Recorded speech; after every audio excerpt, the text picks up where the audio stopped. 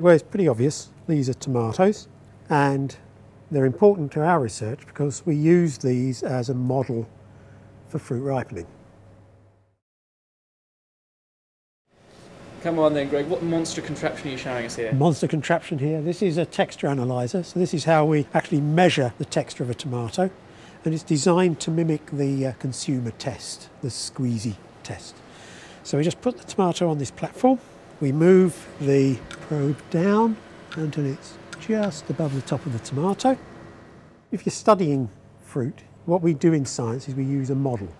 So we try to select something that's relatively easy to study but hopefully that act, the, the things we find out from it we can apply to other fruit like mango, bananas, etc.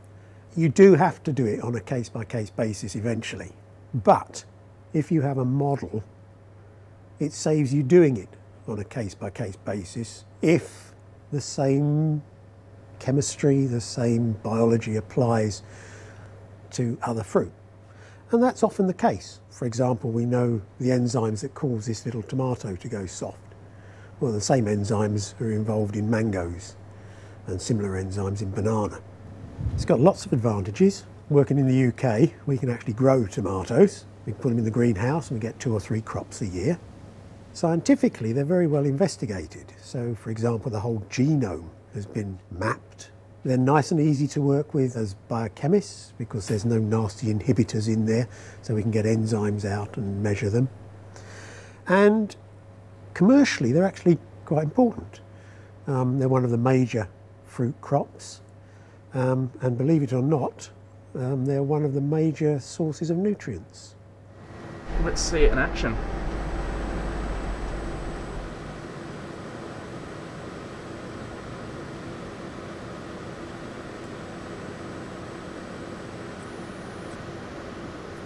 That's it.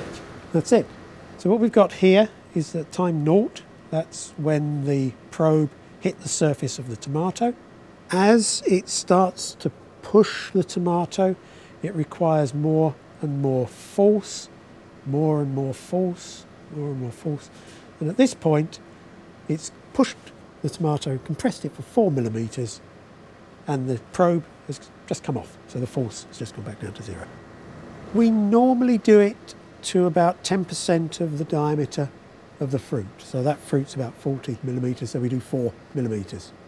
We put the cursor over the top there, press the mouse, and in the corner there, we needed the equivalent of 3.34 kilograms. So what that means is if I had a weight of three and a third kilos, put it on that tomato, it would push it down four millimetres.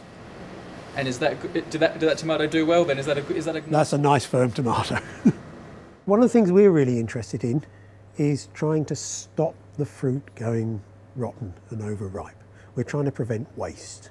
One thing it can happen is it can lose water. The tomato cells are surrounded by a really tough cell wall. You know, we have a skeleton that keeps us upright. Well, plants have these cell walls. They're really tough. Um, they're made of carbohydrates. And it's the sort of thing these benches are made of. And what happens when a fruit goes soft is that those cell walls get degraded and turned into mushy pulp. What we do is a variety of approaches to stop them going soft. There's the breeding approach, which is you cross different strains of tomato and you select ones that naturally inherit a non-softening trait. But you run the risk there of losing other important traits like flavour. There are plant hormones, and there's one called ethylene that makes the fruit ripen. So maybe we can stop the production of the ethylene or we can prevent the tomato seeing the ethylene and that will extend its life. And finally, if we know the enzymes that are involved, we can use genetic engineering to stop the fruit making them. They all eventually go soft. You can't stop it permanently, well, not yet anyway. But we can at least extend the shelf life so that you can keep it in the house for three, four weeks instead of one or two. This machine seems like a lot of fun to me. and sometimes obviously students get left alone with this machine. You've got to tell me some stories. What have you seen done?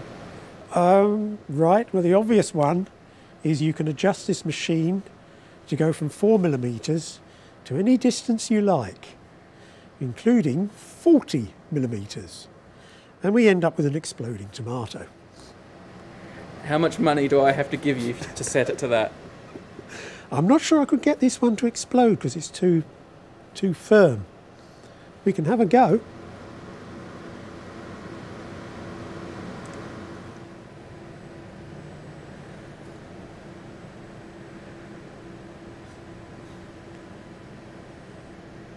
No, it's struggling.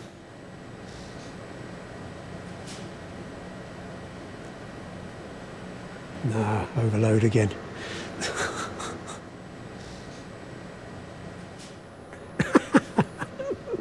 That's not supposed to happen, surely. It always happens. Tomatoes have been part of my life for the last 30 years. I like them, they're really nice. One disadvantage I've come across is I've become sensitised to the pollen. And so I can't go into the greenhouses anymore without dosing myself up with antihistamine.